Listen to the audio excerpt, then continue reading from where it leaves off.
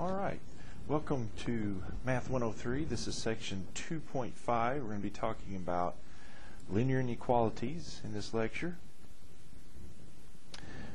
First of all, let me uh, just start off with some notation. Let's talk about some uh, graphs of linear inequalities.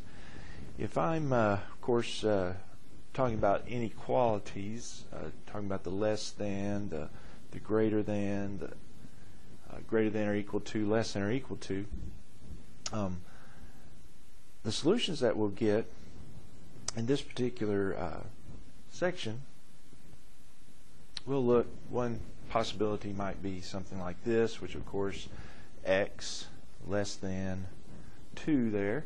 And of course uh, one thing that I want to know is uh, you understand that what that means on the number line here. And so yeah that is the less than symbol. And so on the number line here, if we have 2 right there, we're talking about everything less than 2. And so we'd uh, indicate that there. And uh, we don't want to include 2 in this case. We don't have the equal to part. And so notationally wise, uh, what we put at 2, right on the 2 there, is we put a parentheses. Now, on the other hand, if we had x is less than or equal to 2, well, of course that would mean same basic part of the number line, everything less than 2. But we'd want to include 2. We've got the equal to part, and so for that reason, we indicate that with a different symbol. We use a bracket, square bracket. Always indicates that the endpoint is included. All right, then of course uh, the greater than y is greater than or equal to negative 4. Well, that's the other side. Everything greater than negative 4 would be a part of this solution set here and we would include the endpoint, so we'd use a bracket. Okay, now, when we get to uh, inequalities that look like this, for obvious reasons, it's called a three-part inequality because there's three parts. Well, what does that mean? Um, actually, it's, it's fairly easy, but let's, let's just kind of break it down this these two kind of work in conjunction. I want uh, I've got a two two inequalities basically. I've got the uh, three is less than x inequality, and then I have the x is less than 10. Of course, x being less than 10. Here's my 10, and I want less than 10 there. But I also want at the same time 3 is less than x. Well, if we think uh, think about that just a little bit, let me make a note here. Uh, break that down a little bit. 3 is less than x. Well, it turns out in uh, cases such as that, you might want to think about flipping that around. And if you flip it around, just remember that the inequality points towards the same thing. And uh, it's pointing at the 3 there, so it's got to point at the 3 here.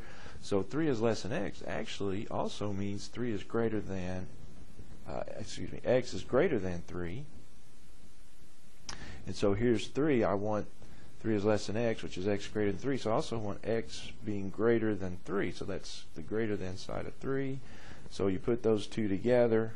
Yeah, you've got everything here. So what 3 is less than x is less than 10 means it's everything between 3 and 10. Now, the uh, inequalities are strictly less than, so you you would use the parentheses here.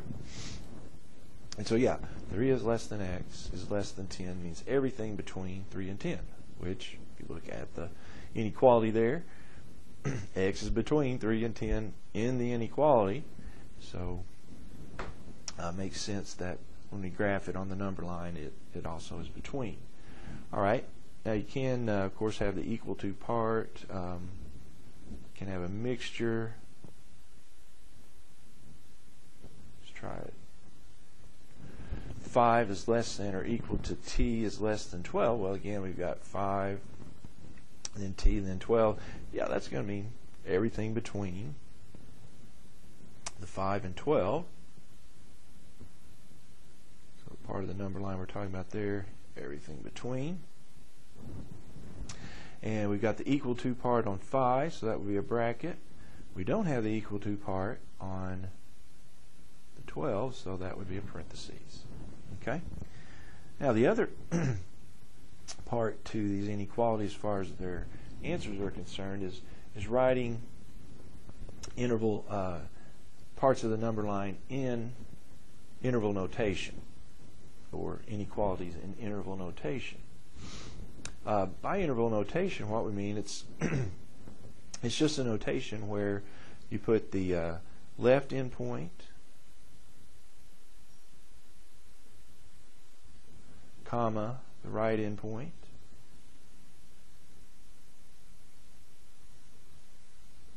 and then you put parentheses brackets whatever uh, the case calls for around those that's kind of what your interval notation looks like. And so if we had, like we had uh, above there, 3 is less than x is less than 10, well, we've got, uh, of course, everything between 3 and 10. And so in interval notation, the interval notation for this particular problem here, well, we put the left endpoint, comma, right endpoint.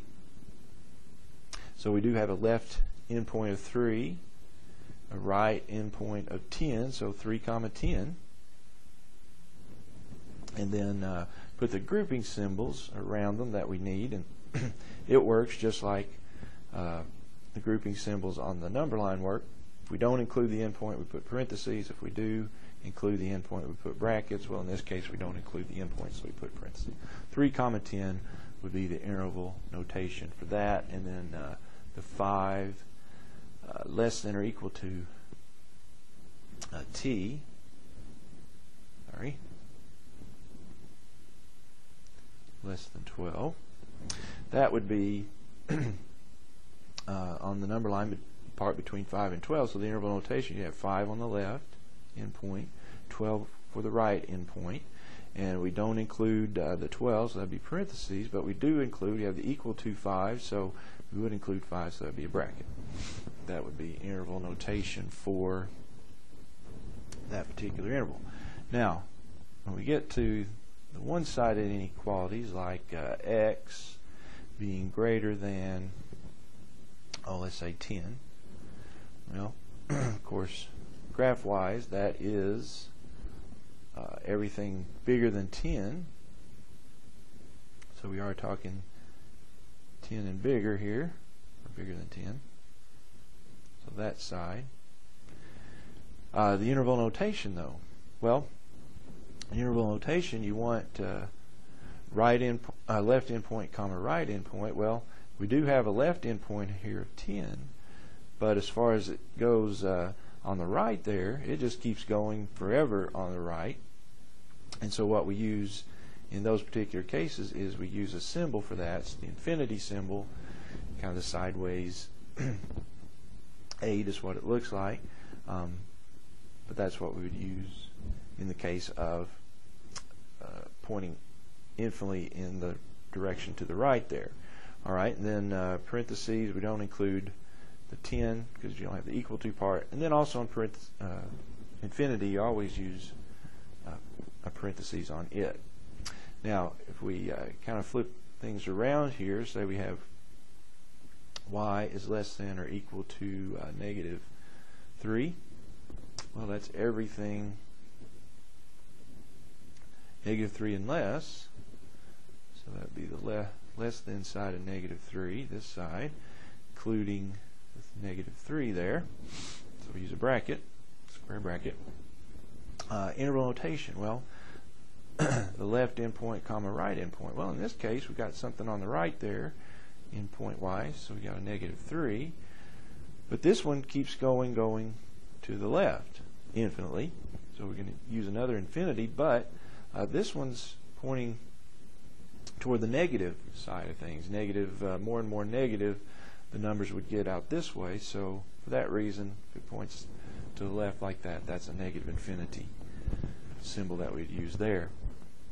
Now to finish this off, we'd uh, use the grouping symbols. Like I said on infinity, you always use parentheses and then a square bracket for the negative 3 because we want to include the equal to negative 3. All right, let's go ahead and talk about solving some linear inequalities. Well, good news is to solve a linear inequality, use the same basic steps as you do for solving a linear equation. You want to get the x or the variable on a side by itself. So in this particular problem, I'd want to add 7 to both sides and then divide by 3. So let's go ahead and do that. So I'm going to add the 7 first, so we get 3x is greater than or equal to negative 13 plus 7 be negative 6. And then all we have to do is divide off the 3. And so we wind up with x greater than or equal to negative 2. And then they'll want you to you know, do the same things as we were doing earlier. That's everything bigger than negative 2. So the graph be everything greater than negative 2 equal to negative 2 so we put the square bracket. With that then the interval notation the left endpoint comma right endpoint notation. Well you got negative 2 on the left and then it points infinitely to the right so that's infinity. Square bracket on the negative 2 alright so the solving of linear inequalities is much the same. Now let me note note this one on this one, uh, you know, there's a couple ways we might go with this one. Let me mention both of them just in case you go with one or the other.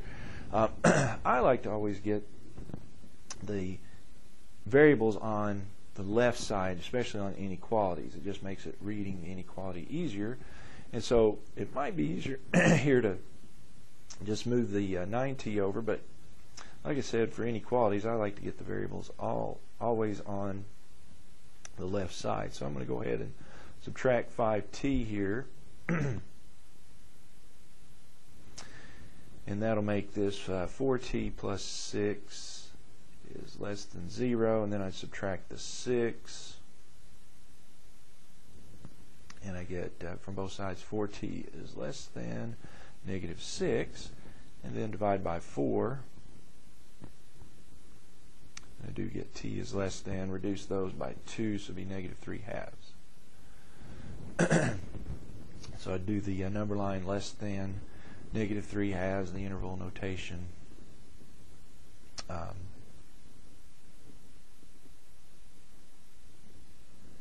less than negative 3 halves, the interval notation. Well, it's pointing infinitely, let's see, pointing infinitely to the left.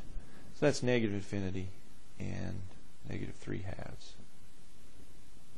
Parentheses, parentheses. what I would note is, let's uh, do this a second way.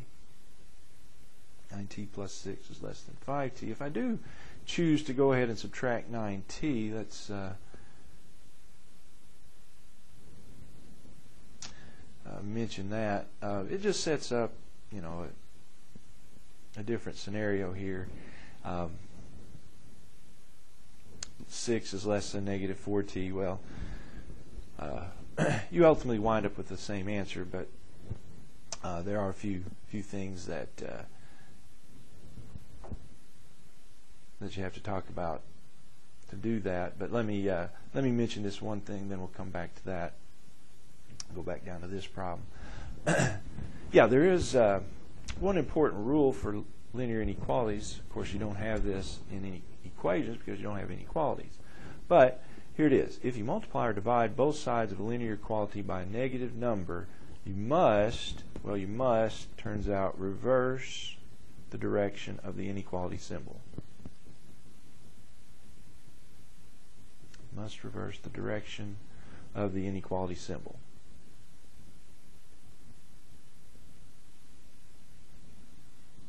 Here's what I mean by that.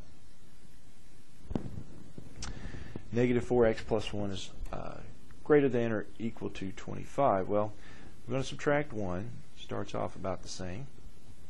Negative 4x then we would have is greater than or equal to 24.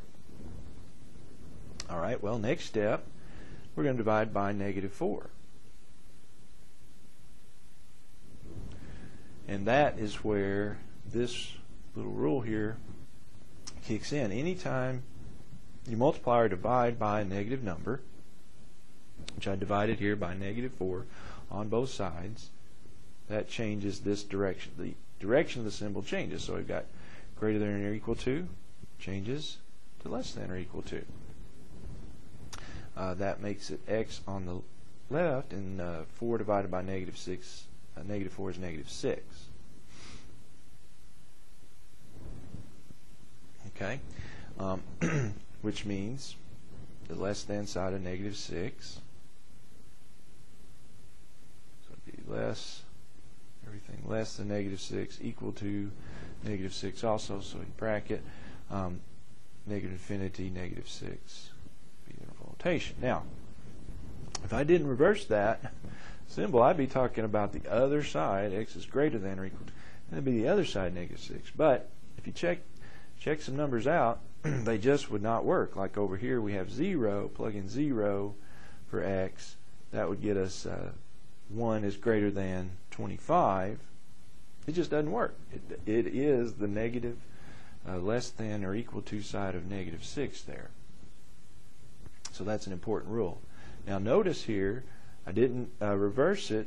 I subtracted 1 both sides. I didn't reverse it. If you go back up to uh, previous problems that we worked, I added, I divided here by 3, but that didn't change it. It's still greater than or equal to because I didn't I divided, but I divided by a positive 3 in that case and down here. Now, back to uh, back to this one that I started earlier yeah, um, if I if I do this, I've finished this out. I got to divide by a negative four here, and of course that gives me my negative three halves there.